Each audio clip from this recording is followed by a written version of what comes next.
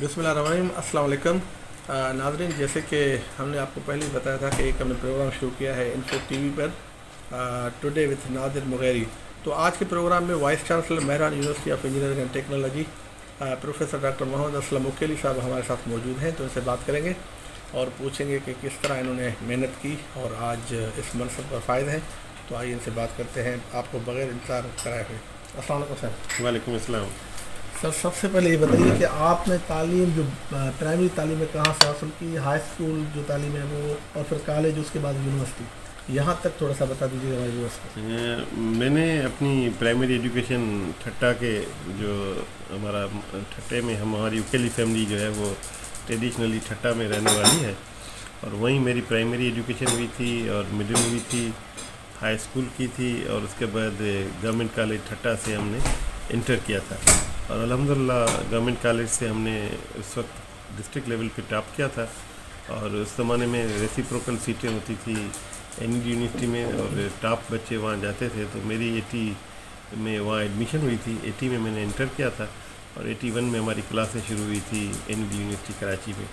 वहाँ से मैंने इलेक्ट्रिकल में ग्रेजुएशन की और उसके बाद यहाँ आके मैं लेक्चरर लगा था।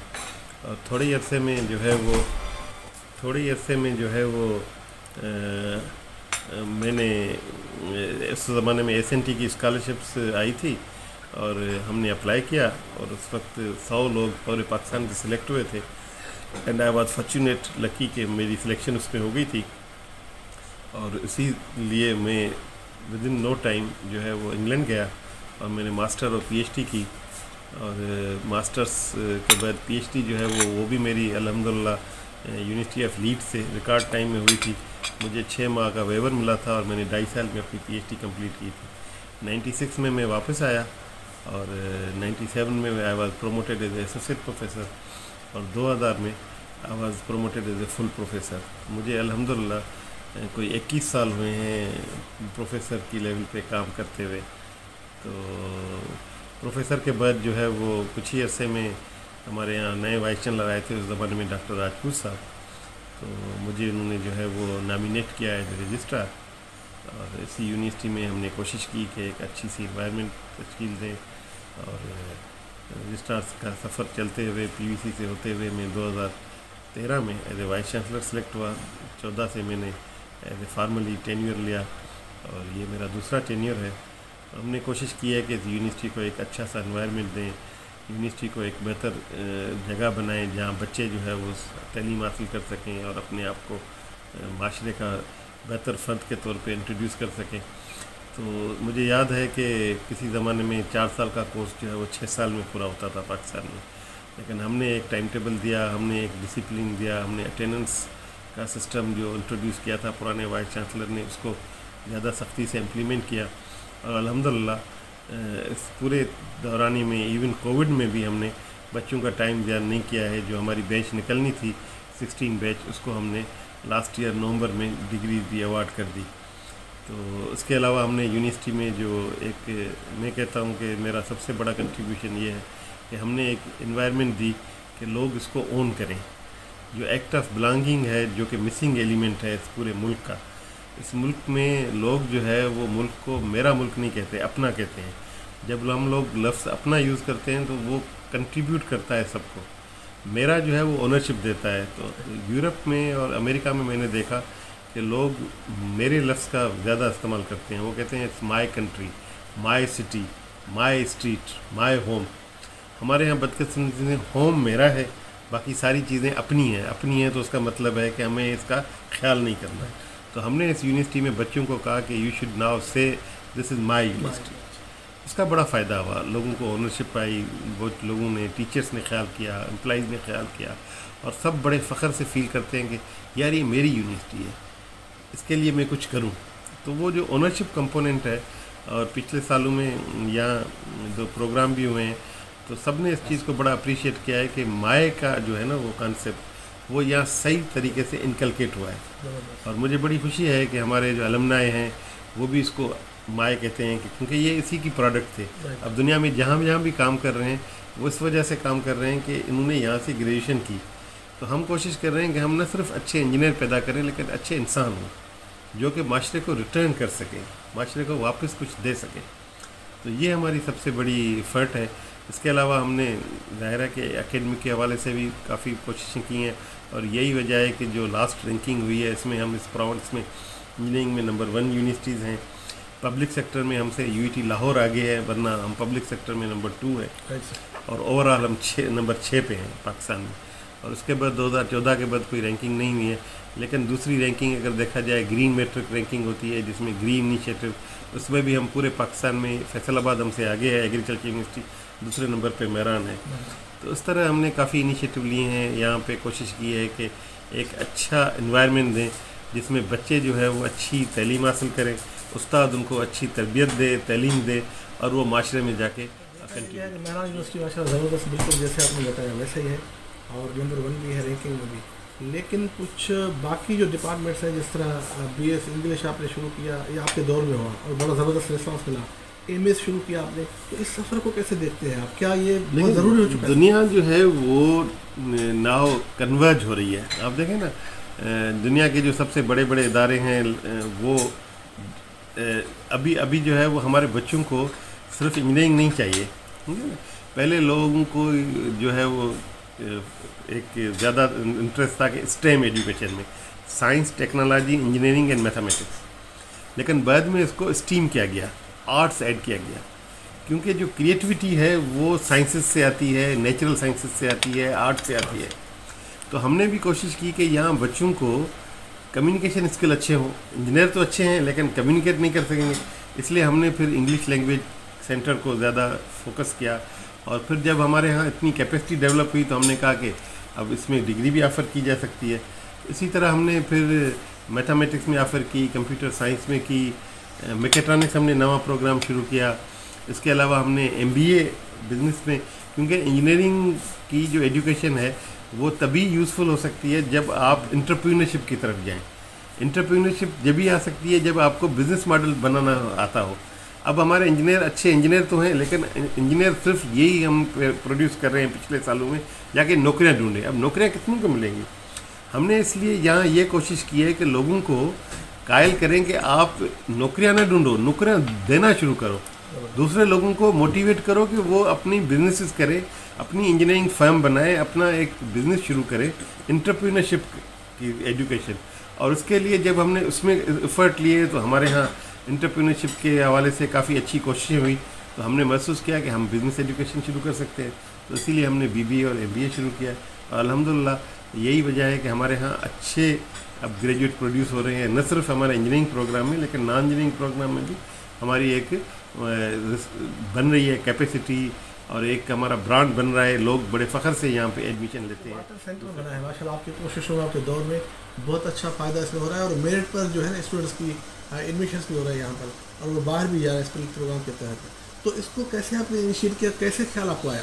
देखिए जब केरी लोगर बिल के तहत उन्होंने हायर एजुकेशन में इन्वेस्टमेंट करनी थी तो उन्होंने पूरे पाकिस्तान से यूनिवर्सिटीज़ को एक लेटर लिखा था कि जिनका इंटरेस्ट हो वो अपनी एक्सप्रेशन भेजें।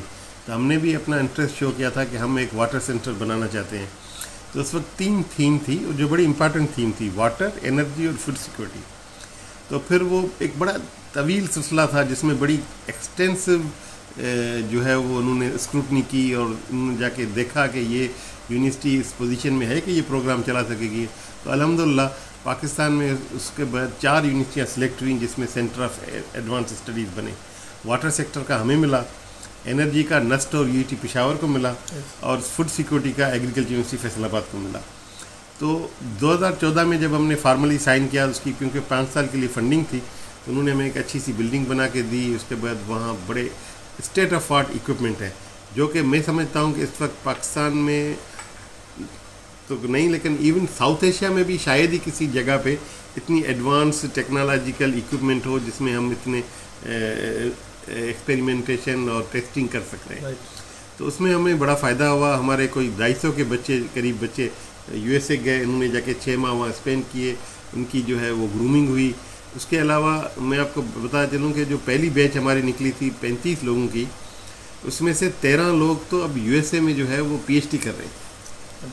तो सारे लोगों को तकरीबन जॉब्स हैं और बड़े अच्छा वो परफॉर्म कर रहे हैं। इवन हमारे जो है अच्छे खासे वाटर के जितने भी प्रोजेक्ट यहाँ सिंध गवर्नमेंट में फेडरल गवर्नमेंट में चल रहे हैं, उसमें हमारे प्रोफेसर का कंट्रीब्यूट करते हैं as a members as a consultant as a advisers even हमारे ग्रेजुएट इन्हीं प्रोजेक्ट में जो है वो जो है परफॉर्म कर रहे हैं। तो मेरे ख्याल में वो एक बड़ी कोशिश थी। इसके अलावा रिसर्च बड़ी प्रमोट हुई। अभी भी आप देखें ना न सिर्फ़ वाटर सेंटर दूसरी जगहों पे भी। पाकिस्तान रेलवे के लिए हम monitor system condition monitoring system बना रहे हैं। आपने देखा होगा कि लाइब्रेरी के साथ एक बना हुआ है रेलवे की पटड़ी बिछाई हुई है जिस पे हमने एक्सपेरिमेंट करना है कि किस तरह जो है वो। क्योंकि रेलवे में हमारी इस ख़त्े में साउथ एशिया में पाकिस्तान वाद मुल्क है जहाँ रेलवे कम से कम यूज़ हो रहा है। और इसकी वजह से रोड पे बड़ा प्रेशर है रोड पे बड़े एक्सीडेंट होते हैं। और रेलवे में जब उन्होंने थोड़ी कैपेसिटी बढ़ाई तो हमारे लिए ज़्यादा प्रॉब्लम ये था कि हम मैन्युअली अभी तक देख रहे हैं। तो उसकी वजह से हमारे यहाँ एक्सीडेंट हुए कुछ। तो फिर हमारी रफ्तार कम हो गई। तो अब हम कोशिश कर रहे हैं कि उसमें हम एक अच्छा रोबोट सिस्टम इनको दें जिसके तहत रेलवे में अच्छी मॉनिटरिंग हो सके और रेलवे का जो ट्रैक है वो बेहतर यूटिलाइज हो सके। तो क्या यह प्रोजेक्ट आपको मिला है? या अपनी तरफ़ से आप करके फंडिंग के लिए अखबार में देती है। फिर डिफरेंट यूनिवर्सिटीज़ उसमें अप्लाई करती हैं। तो हमारे प्रोफेसरों ने की कैपेसिटी अब अल्लाह की फजल से इतनी बन गई है कि जब वो प्रोजेक्ट अप्लाई करते हैं तो हमें भी उसमें से कुछ ना कुछ प्रोजेक्ट मिल जाते हैं जो कि आगे चल के हम उन प्रोजेक्ट को गवर्नमेंट के लिए मुल्क के लिए बेहतर करते हैं। सर आपके फ्यूचर प्लानिंग अभी क्या है? मतलब कोई नया डिपार्टमेंट खुल रहा है कोई इसको किस तरह देखिए कोविड ने चीज़ों को रोक दिया है। अभी तो हम सर्वाइव कर रहे हैं सस्टेन कर रहे हैं। लेकिन मेरा जो इमीडिएट टारगेट है कि मैं कोशिश करूँगा कि मेरे अभी सात माह जो रहते हैं, उसमें सोलर पावर का कोई प्रोजेक्ट अप्रूव कर दूँ। यहाँ पे हम जो है ना, बड़ा अच्छा खासा पैसा जो है ना, वो इलेक्ट्रिसिटी बिल में दे रहे हैं। और यूनिवर्सिटीज़ के पास ये बड़ा मेजर इशू है रिकरिंग ग्रांट पे। तो रिकरिंग ग्रांट को बेहतर करने के लिए हमारी ये कोशिश है, हमने स्टार्ट लिया था। एक 50 किलो वाट हमने पावर लगाया था सोलर का। अभी हमारी लाइब्रेरी या मेरा जो ये सेक्शन है और एक इलेक्ट्रॉनिक्स में वो सोलर पे है। लेकिन हमारी कोशिश है कि हम एक अच्छा सोलर प्लांट लगाएँ ग्रिड टाइड जो कि सिर्फ़ दिन में काम करता हो क्योंकि रात में तो यहाँ एक्टिविटी होती नहीं है। तो हम इसका कास्ट इफ़ेक्टिव मॉडल हम बना के हम कोशिश कर रहे हैं कि प्राइवेट सेक्टर को बीओटी बेसिस पे बिल्ड ओन ऑपरेट ट्रांसफ़र के बेसिस पे हम एक प्रोजेक्ट लाए। हम गवर्नमेंट ऑफ़ सिंध को लिख रहे हैं और हमें कुछ लोगों ने इंटरेस्ट भी शो किया है। अगर ये हो गया तो उसका फ़ायदा ये होगा कि जो हम चौबीस रुपये पर यूनिट देते हैं हेस्को को, वो हमारे लिए अब दो ढाई तीन रुपये का पर यूनिट हो जाएगा। और नेक्स्ट फाइव ईयर में वो पे बैक हो जाएगी और फिर हम अगले बीस साल में हमारा जो है वो रिकरिंग बड़ी कम हो जाएगी। और हम कोशिश करेंगे कि हमारी नेबरिंग यूनिवर्सिटी को अगर हमारे पास वो अच्छा सा प्रोजेक्ट बन जाता है तो हम उनको भी बिजली सप्लाई कर सकें।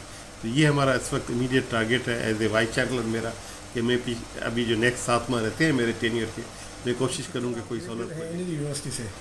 अभी अगर आपको मौका दिया जाए कि आप एडमिशन लें तो आप महरान का इंतखब करेंगे या एन का? और क्यों? यकीनन इस वक्त जो है वो अगर मुझे मौका मिला तो मैं महरान का भी सोचूँगा। और ज़ाहिर है एन भी हमारी नेबरिंग यूनिवर्सिटी है अच्छी यूनिवर्सिटी है पुरानी यूनिवर्सिटी है 1921 में बनी थी। और वो भी बड़ा वहाँ भी हमारे दोस्त हैं डॉक्टर सरोज वो बड़ा अच्छा काम कर रहे हैं।